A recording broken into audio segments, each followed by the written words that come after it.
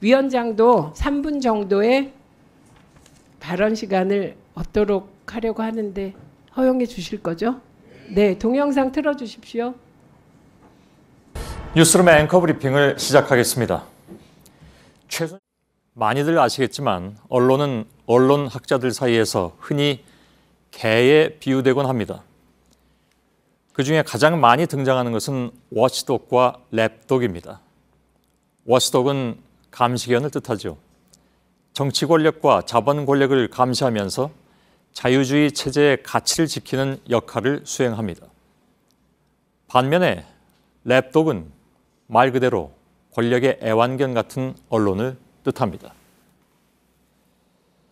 주인의 무릎 위에 올라앉아서 귀여움을 독차지하고 달콤한 간식을 받아먹는 그 안락함에 취해버린 언론이라는 비판을 받습니다. 랩독은 결코 권력 구조에 비판적일 수 없습니다. 다만 거기에 동화되고 기생할 뿐이죠. 예. 다음은 전체 회의에 계류된 법률안에 대하여 심사할 순서입니다. 먼저 법안 심사에 당연히 참석하여야 할 방통위원장 등 관계자가 불참한 것에 대해 다시 한번 유감을 표합니다. 그러면 수석 전문위원께서는 보고해 주시기 바랍니다. 예. 먼저 방송법안 심사자료 11쪽을 보아주시기 바랍니다. 의사일정 제2항부터 제6항까지 방송법 일부 개정 법률안에 대하여는 사안뿐이 아니고 지금 KBS는 무단협 상태입니다. 6월 4일부터 제가 지난주에 KBS를 방문했는데 기자, PD, 뭐 엔지니어, 아나운서 정원 방통위가 2인 체제로 운영된 지 지금 반년이 넘었습니다.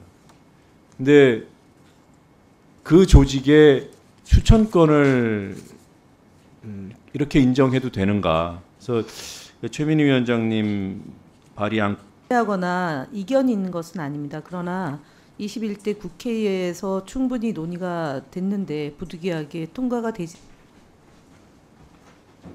예, 특별히 이준석 위원님이 주신 말씀은 우리가 추구해야 될 굉장히 중요한 가치입니다. 그리고 국회가 협치로 운영해야 한다는 것 또한 중요한 가치이고 법안을 심사하는 과정에서 음, 저희가 좀 더 신중하게 해야 한다는 점도 충분히 일리 있는 말씀입니다.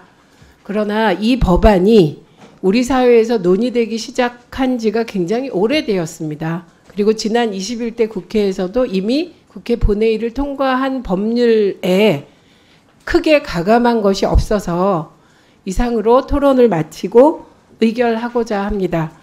그리고 음 조금 속도 조절을 하자는 이준석 위원님의 말씀을 제가 수용하지 못하는 점에 대해서는 죄송하게 생각합니다.